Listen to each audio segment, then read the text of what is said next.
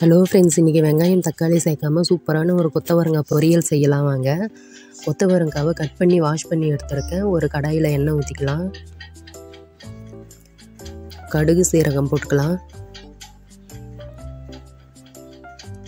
கறிவேப்பிலை சேர்த்துக்கலாம்.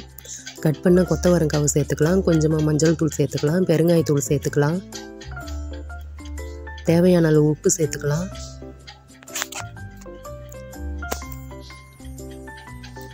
இதை நல்லா வதக்கி விட்டுக்கலாம்.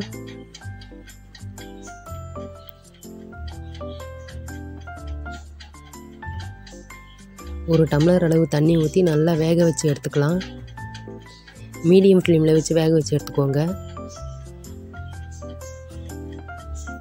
தண்ணி நல்லா சுண்டி வந்த அப்புறம் கொஞ்சமாக மிளகாய் தூள் சேர்த்துக்கலாம்.